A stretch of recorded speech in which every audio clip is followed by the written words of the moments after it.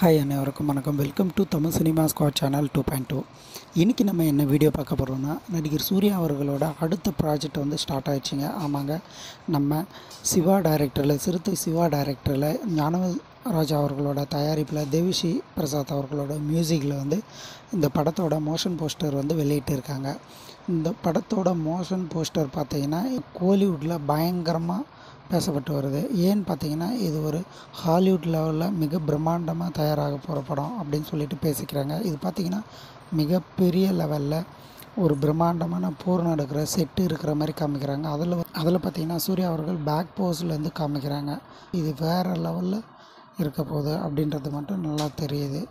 அது மட்டும் இல்லாமல் சூர்யா அவர்கள் வந்து இந்த படத்தில் வந்து நாலு கேரக்டரில் நடிக்கிறதா சொல்கிறாங்க இது ஃபுல் அண்ட் ஃபுல் வந்து ஒரு ஆக்ஷன் மூவியாக இருக்கும் அப்படின்றதுல எந்த ஒரு சந்தேகமும் இல்லை.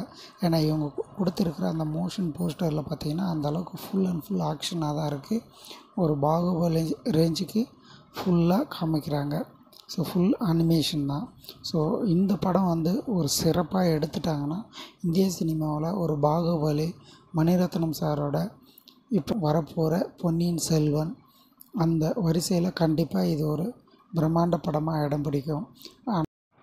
ஏன்னு பார்த்தீங்கன்னா இது மிகப்பெரிய ஒரு போர்க்காலம் போல் காட்சியளிக்குது ஸோ மிகப்பெரிய அரசர்கள் சண்டை போட்டுக்கிற ஒரு படமாக இருக்க வாய்ப்பு இருக்குது அப்படின்றதுனால ஸோ இது சொல்ல வேண்டியதாக இருக்குது ஸோ இதோட அனிமேஷன்லாம் பார்த்தீங்கன்னா பயங்கரமாக பண்ண போகிறாங்க அப்படின்றது மட்டும் நல்லா தெரியுது.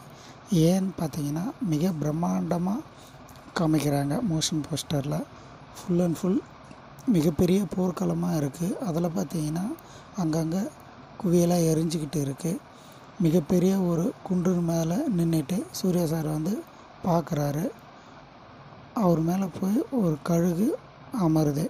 ஸோ இதை பார்க்கும்போது மிக பிரம்மாண்டமாக இருக்குது ஸோ இது அனிமேஷனில் இது கொண்டு வந்திருக்காங்க. ஸோ படமாக வெளிவரும்போது தான் தெரியும். எந்த அளவுக்கு இவங்க ஹார்ட் ஒர்க் பண்ணி பண்ணியிருக்காங்கன்னு.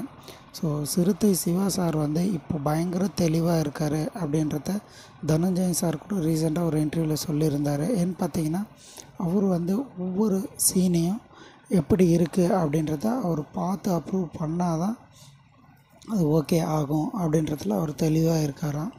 ஏன்னு பார்த்தீங்கன்னா இந்த மோஷன் போஸ்டரை ரொம்ப ஹார்ட் ஒர்க் பண்ணி வெளியிட்டு தான் சொன்னாங்க. ஸோ அதனால் இது மிகப்பெரிய சவாலாக தான் இருக்கும். எல்லாருக்குமே சூர்யா சாருக்கும் சரி சிவா சாருக்கும் சரி. ஏன்னு பார்த்தீங்கன்னா சிவா சார் வந்து ஒரு கமர்ஷியலான படம் எடுத்ததாக பார்த்துருக்கோம் அதில் அவர் மாசாக பண்ணிடுவாருன்னு தெரியும். பட் இது ஒரு ஹிஸ்டாரிக்கல் மூவி மாதிரி தெரியுது. ஸோ பார்க்கலாம் எப்படி பண்ணுறாருன்னு சூர்யா சார் சொல்லவே தேவையில்ல. இந்தியாவிலே நம்பர் ஒன் ஸ்டாரில் அவரும் இப்போ வந்திருக்காரு. அந்த அந்த ஸ்டேஜுக்கு ஏன்னு பார்த்தீங்கன்னா ஜேபிஎம்மு சூரரை போற்று இதெல்லாம் அவர் வேறு லெவல் வேர்ல்டு லெவலில் ரீச்சை கொண்டு போய் விட்டுருச்சு. ஸோ சூர்யா சாரும் இப்போ பயங்கர ஃபார்மில் இருக்கார். ஸோ அதனால் இது மிகப்பெரிய படமாக அமையும் அப்படின்றதுல எந்த ஒரு சந்தேகமும் இல்லை. அது மட்டும் இல்லாமல் இது கிட்டத்தட்ட ஒரு பேன் வேர்ல்டு படமாக வெளியாகும் அப்படின்னு சொல்லிட்டு எதிர்பார்க்குறோம். ஏன்னு பார்த்தீங்கன்னா கிட்டத்தட்ட பத்து லாங்குவேஜில் இதை வெளியிட போகிறாங்க த்ரீ டி அனிமேஷனில் ஸோ வெயிட் பண்ணுவோம். ஸோ அந்த டீமுக்கு நம்மளுடைய வாழ்த்துக்களை ஸோ தெரிவிச்சுக்குவோம். ஸோ இந்த வீடியோ உங்களுக்கு பிடித்திருந்தால் லைக் பண்ணுங்கள் ஷேர் பண்ணுங்கள் மேலும் இது போன்ற தகவல்களுக்கு இந்த சேனலை சப்ஸ்கிரைப் பண்ணுங்கள் நன்றி வணக்கம்.